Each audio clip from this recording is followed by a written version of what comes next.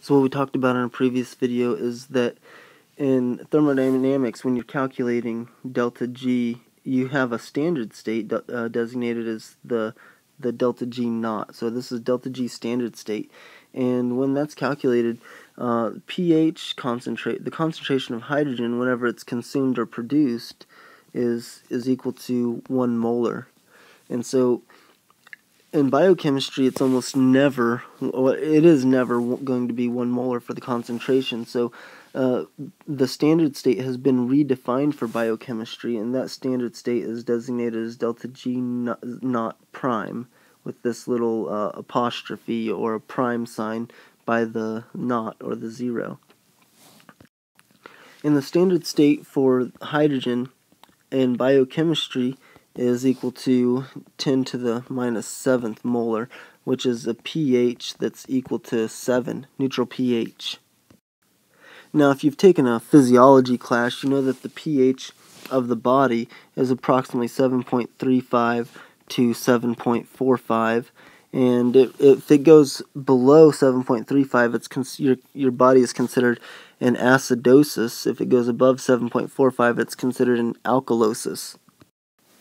However, uh, in biochemistry, uh, 7 is still considered the, the pH of standard state. And one of the reasons for that is because humans are not the only, uh, the only subjects of biochemistry. Every living organism um, produces uh, chemical reactions that are considered biochemistry and because most organisms are roughly around a neutral pH, there are ex several exceptions, like um, there are acidophiles and such, but most organisms are right around a pH of 7, and so for biochemistry, they focus on that pH. So delta G standard state is equal to negative RT times the natural log of KEQ, and this is supposed to be a capital KEQ, and uh, so what is KEQ? Again, remember if we have a reaction that's A plus B yields C plus D, then KEQ is, is the concentration of C times the concentration of D divided by the concentration of A times the concentration of B. That's supposed to be a B. Whenever this comes to equilibrium, when it's not at equilibrium, it's it's called Q. When it's at equilibrium, it's called K, KEQ. So if you consider a reaction where hydrogen is being uh, being produced, so hi let's let's add hydrogen up here to our product. So it's products divided by reactants. So hydrogen is one of our products in this reaction. Well, in this we we know that the the concentration uh, let's say if our concentration has a really really low pH so it has our solution already has a whole bunch of hydrogen present, it's going to be harder to drive products to reactants because of uh, Le Chatelier's principle. So Le, Le Chatelier said that if I if I have a reaction, if I can take away some of these or even all of these products as the reaction is going forward, then I can drive the reaction from from reactants to products. The reason is because KEQ doesn't change. So if I have uh, if I, in essence, can take away all of C and D and leave only H behind, then I have to be able to produce enough H so that the ratio of H over A times B is equal to KEQ, which means you have to produce a lot more hydrogen than if you had been producing C and D and not taking it away. Well, the same principle applies if you have hydrogen times C times D if you can take away hydrogen or if you let's just say if you have a whole bunch of hydrogen then the, the, concentration of hydrogen in your solution is already high so it's going to prevent you from from moving the reaction forward very far. Um, on the so on the other hand if you take away hydrogen so if hydrogen's at one molar and you can reduce that to 10 to the negative 7th molar, then you've already taken away a whole bunch of hydrogen, so it helps drive the reaction forward. So in reactions where hydrogen is being produced as a product, biochemical standard state, delta G naught prime, is going to be uh, much, much more favorable than the standard state And so by saying more favorable, I'm actually saying it's less than because a negative number is more favorable in driving products, driving reactants to products. So it's going to be less than delta G naught. Let's try, try to take a look at this mathematically. So if I say that delta G, we'll just say delta G, we won't determine whether it's biochemical, what it is. We'll say that delta G is equal to negative RT.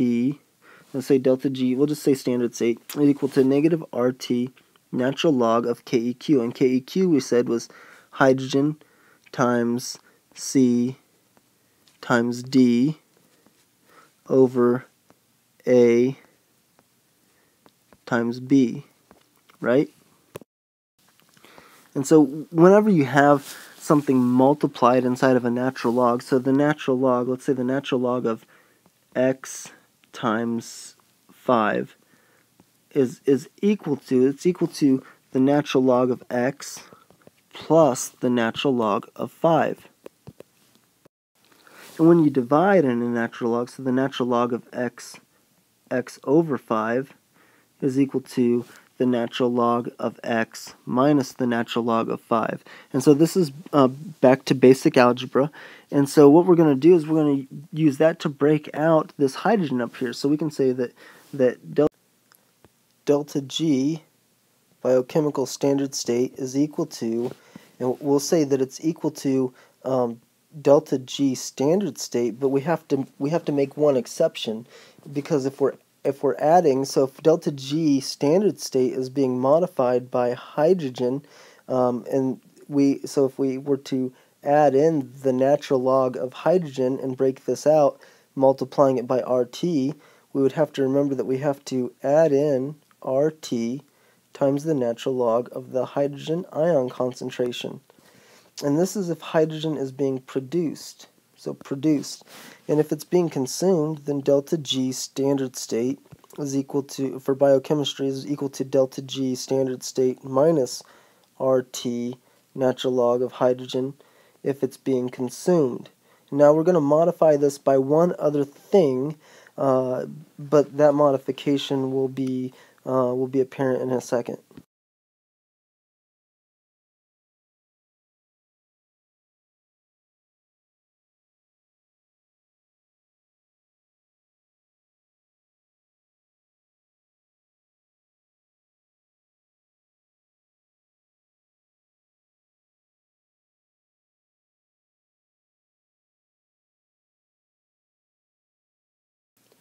So we have two equations. those equations delta G biochemistry standard state is equal to delta G standard state plus RT natural log of the hydrogen ion concentration. And we're going to modify this here in a second. We're going to add one more thing to it. And we have delta G biochemical standard state is equal to delta G standard state minus RT natural log of the hydrogen ion concentration uh, so the one thing we're going to do to modify this, now when we talk about the hydrogen ion concentration, hydrogen ion concentration is 10 to the minus 7th. But in both of these cases, the hydrogen ion concentration is being altered because hydrogen is either being produced or consumed. And so what we're going to do is we're going to multiply both of these by n. So this is n. So this is when it's produced, and this is when it's consumed. So what is n?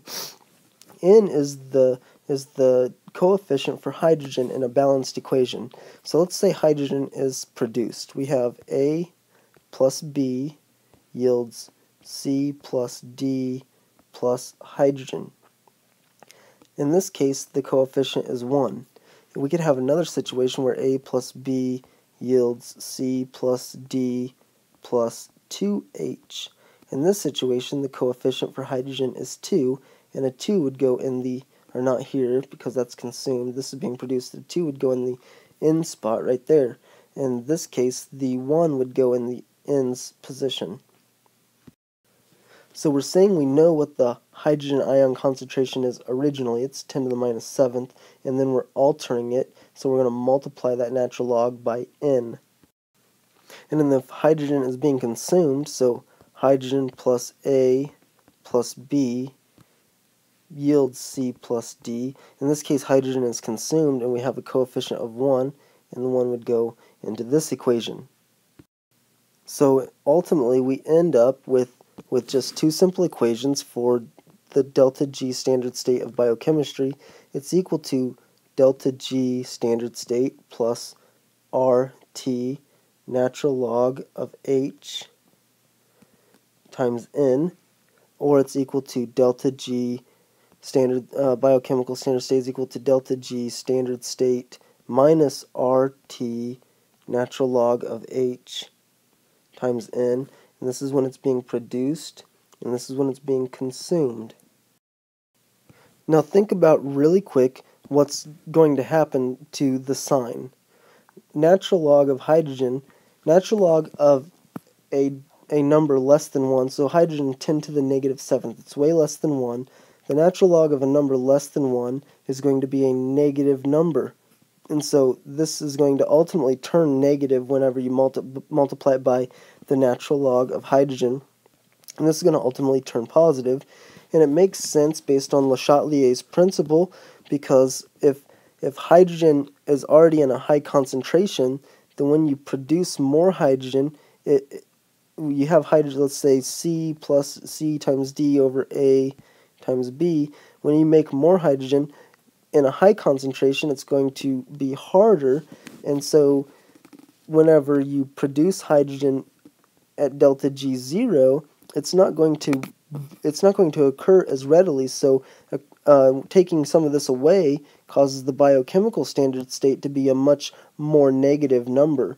So by adding RT natural log of H, you're actually reducing this number and the same goes for, for the other situation. If you don't have very much hydrogen to add to a reaction, then H times A times B over C times D. This isn't this is this isn't uh, the limiting source of this reaction, and so it's going to be much harder to make products. And so whenever you add, you're going to have a much more positive uh, delta G biochemical standard state than a delta G standard state.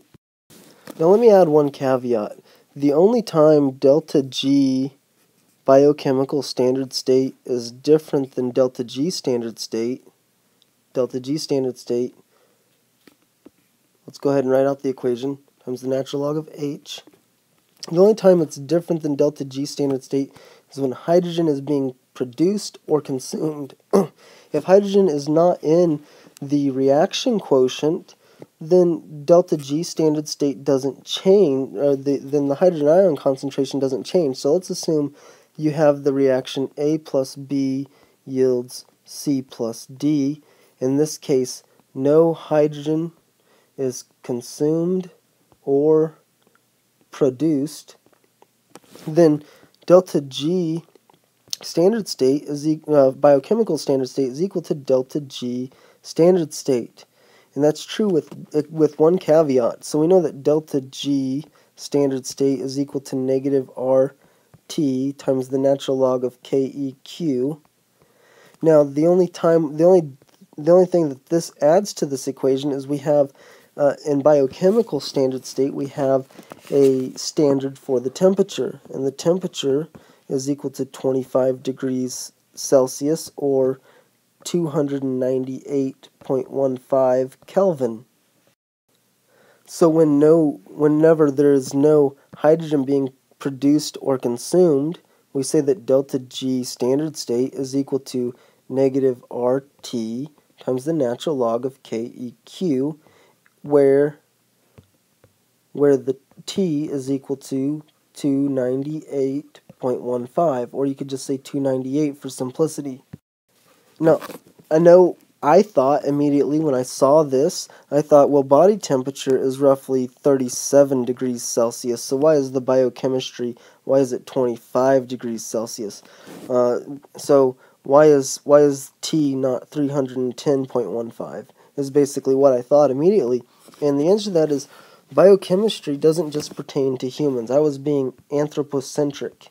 I was thinking of only Anthropocentric means I was thinking basically in terms of humankind when there are so many other uh, biochemical uh, areas, there's so many other cells for biochemistry to take place. It could take place in a sea anemone, it could take place in a bacteria that's that's hanging out on on a uh, on a thermophilic uh, on a uh, thermal vent, and so we just define the standard state as 25 degrees because that's basically room temperature, and so we test most biochemical reactions at room temperature. So that that's the simplicity of everything. Uh, the biochemical standard state is equal to delta G at 298 Kelvin when no hydrogen is produced or consumed.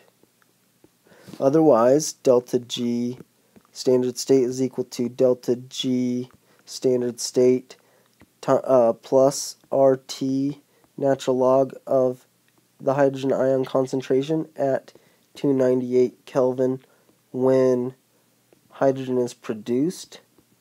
And delta G biochemical standard state is equal to delta G minus RT natural log of H at 298 degrees Kel or 298 Kelvin when hydrogen is consumed.